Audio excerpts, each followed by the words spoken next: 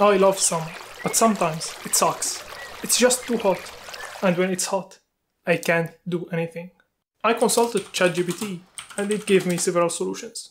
But one specific solution caught my attention. I need a fan. Now I have two options. The first one, buy a fan on Amazon and get it the next day. The second one, try and make the fan myself. After deep thinking and reviewing the pros and cons of each option, the ultimate answer was clear. I'll make the fan myself. But if we are going to make the fan, why not be fancy? The fan we will be making is not like any other fan. It will be a fan and a screen at the same time. You might have many questions right now. A fan and a screen? Why? How? Why? Simply because it's fun. As for how, we take a strip of controllable LED lights. We fix it on the fan's blade.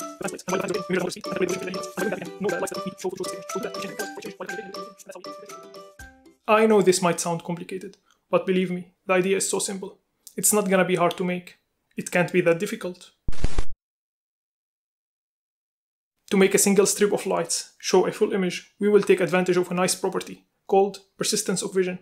Before we explain what this property is, let's first see how our friend ChatGPT defines it. Persistence of vision is the optical phenomenon where the human eye retains an image for a fraction of a second after the object has been removed from view. This phenomenon is crucial in the perception of motion in film and animation, as it allows individual frames to blend smoothly, creating the illusion of continuous movement. This property states that if the eye sees a light and then that light suddenly goes off, the brain will continue to interpret that there is a light for a short time after it goes off, for about 30 milliseconds. This means if we turn on a light, turn it off for about 25 milliseconds, and turn it back on, our brain won't notice that the light went off, and we will see a continuous light, but with lower intensity. To understand how we can use this property to make a screen, let's first make an image and explain using it.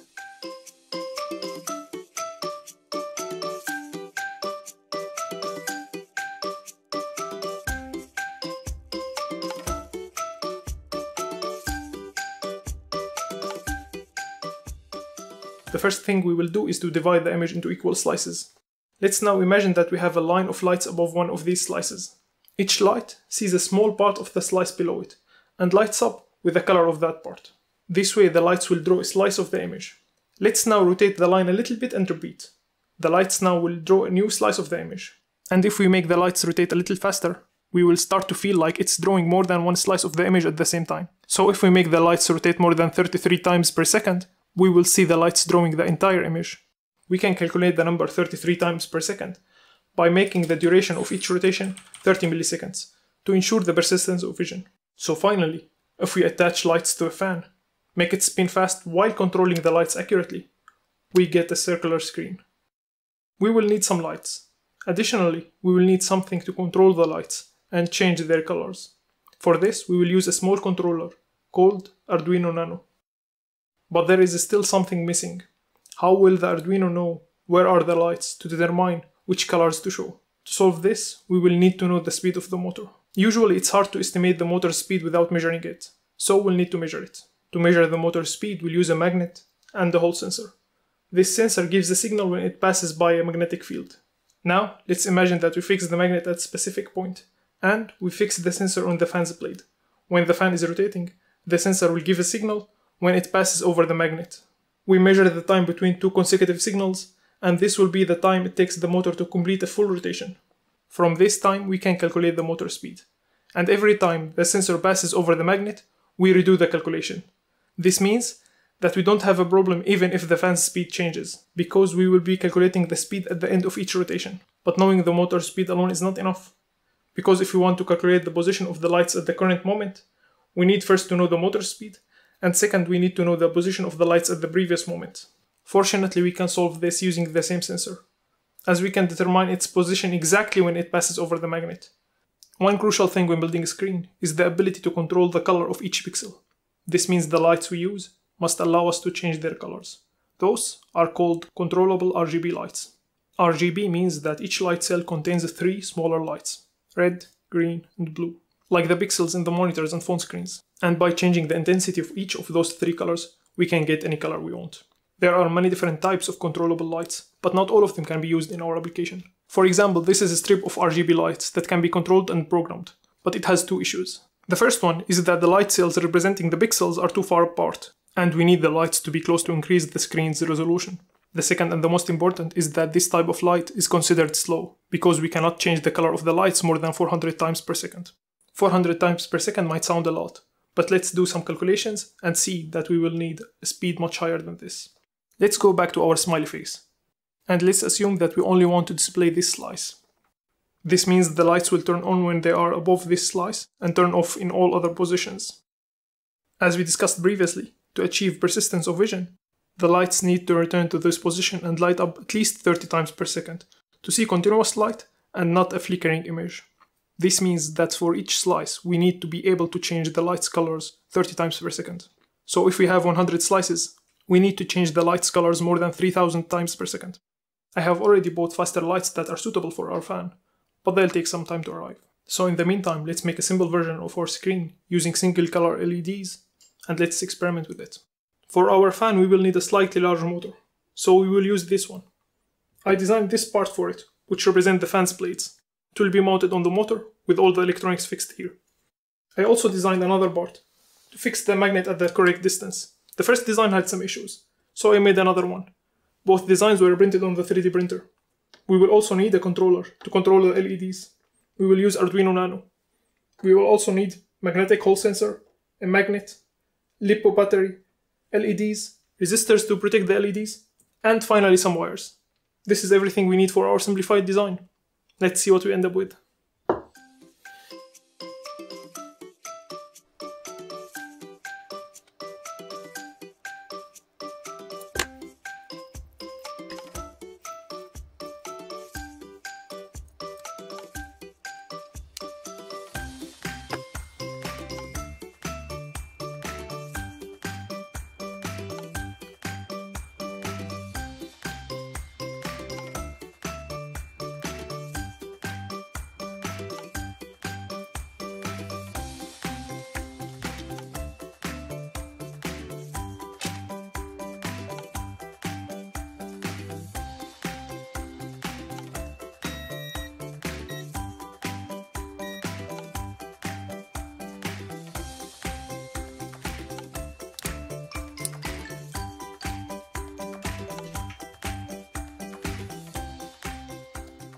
And here is the final result.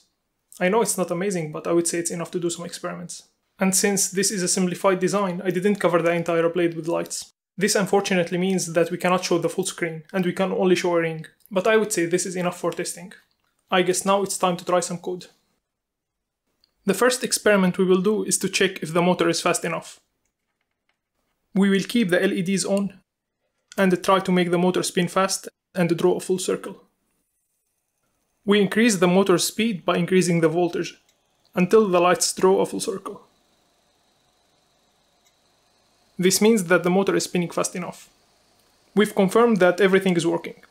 Let's try something a little more complicated and try to draw a single line. To draw a line, we need to choose a slice and make the LEDs turn on only while in this slice. They should turn on when they reach the slice and turn off when they reach the next slice.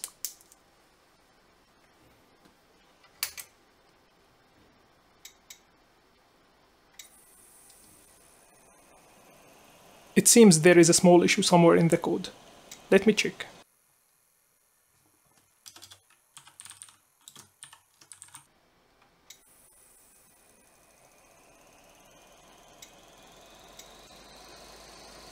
Now we can control the pixels accurately, and we can proudly say that we have a simple screen with a resolution of 6 pixels.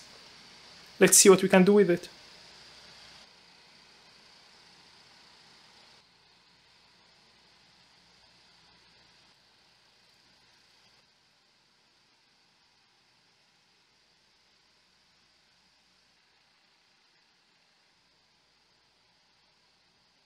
This fan is fun, but enough playing around.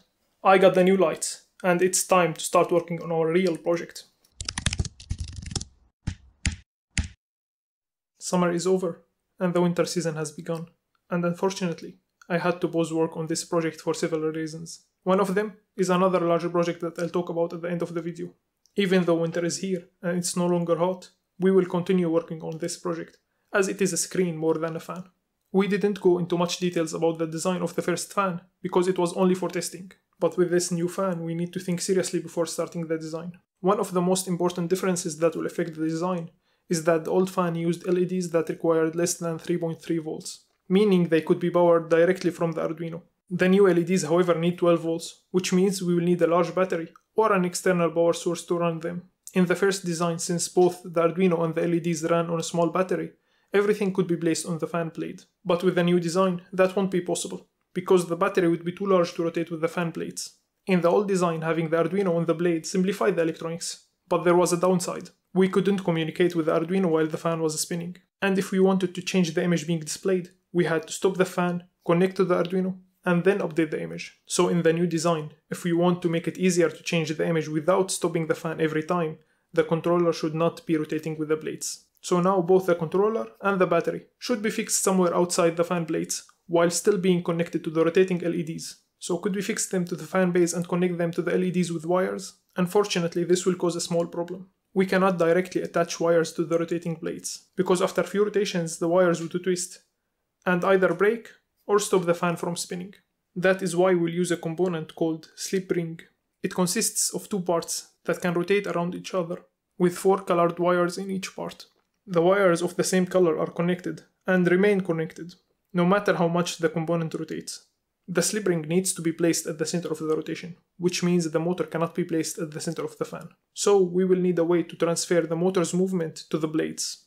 The first design, I tried using gears and a belt to transfer the movement, allowing the motor to spin the fan without being in the center. The LEDs I'm using require 12 volts, so we will need a voltage regulator to reduce the voltage from 12 to 7 volts for the motor. Additionally, we will need a driver to control the motor speed. Now that we have covered both mechanical and electronic aspects, it's time to talk about the screen. The screen will have a diameter of 50 centimeters, and for that we'll use a strip with 72 LEDs. First I tested the lights, and they all worked well, so I designed the plates that will hold the LEDs and 3D printed them. But when I tested the LEDs on the fan, they started flickering randomly with wrong colors, indicating noise in the electrical signal reaching the LEDs. I tried distancing the lights from the motor, but the flickering continued showing that it was not caused by the motor's rotation. After a few tests, I solved the problem by using a 320 ohm resistor on the LED signal line. The belt mechanism also caused issues, so I replaced it by gears. And now we are ready to try showing an image. As explained earlier, to draw an image, we will divide it into slices. Each slice is broken down into smaller segments based on the number of LEDs. The first thing I tried was to split the image, calculate the color of each pixel, and store this information in an array on the Arduino. However, the array was much too large to fit in the Arduino's memory. The second thing I tried was to store the array on the computer. And when the fan blades reach a slice, the computer sends the colors of this slice to the Arduino via serial communication. However, even at the highest transmission speed, it was too slow, and I couldn't even draw simple lines.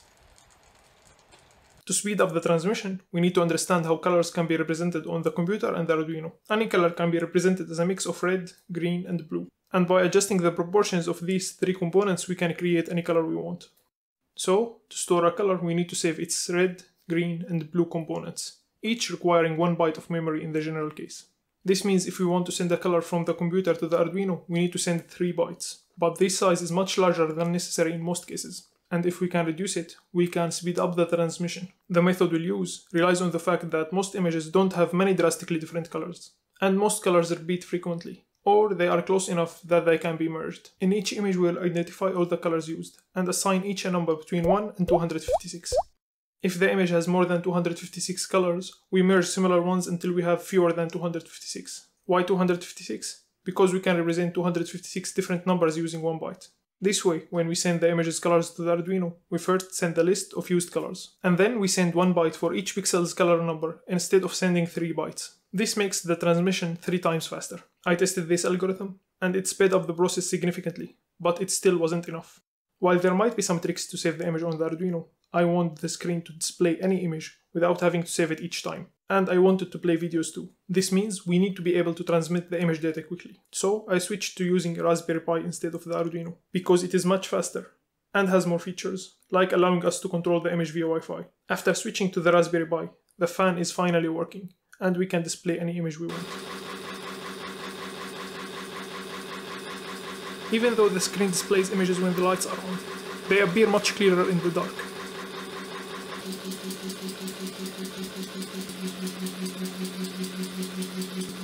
And now that the screen is working, I'd like to go over a few points for improvement.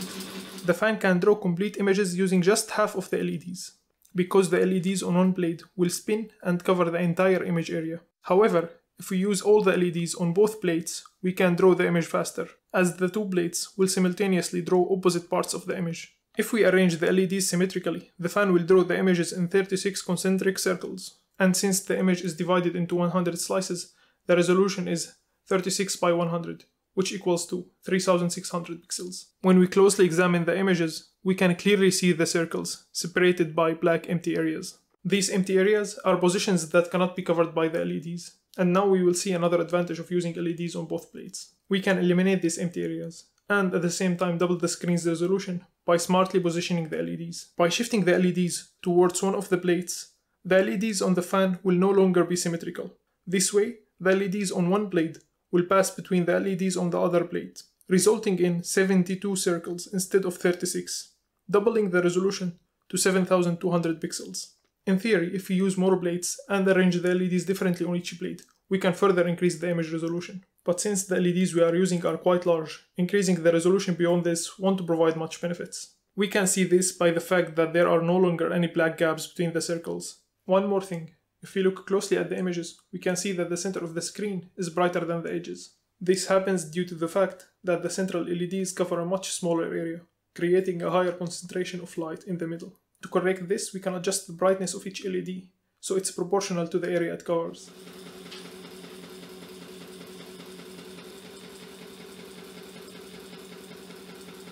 And since we can show images, there is nothing stopping us from displaying videos as well. To show a video, all we need is to break it down into a sequence of frames and show them one after another.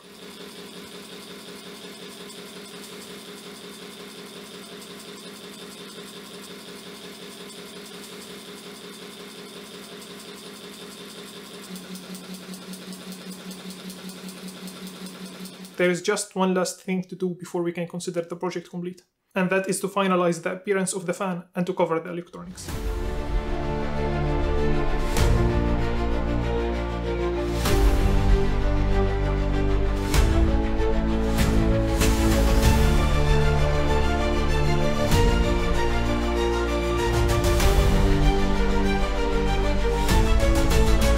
Now we can officially say that this project is done. As I mentioned, one of the reasons that this project was delayed is another big project. I have been working on a flying robot that utilizes a concept I haven't seen used anywhere else before. A winged robot that flies within an airflow and controls the flight only by changing its shape, similar to how skydivers control their descent. The next video will be about the robot, its design, and the physical principles it employs. So if you'd like to learn more, make sure to subscribe. And if you have any other project ideas that you would like to see, feel free to share them in the comments. And if for some reason you want to watch the same video in Arabic, check the link in the description. See you in the next one.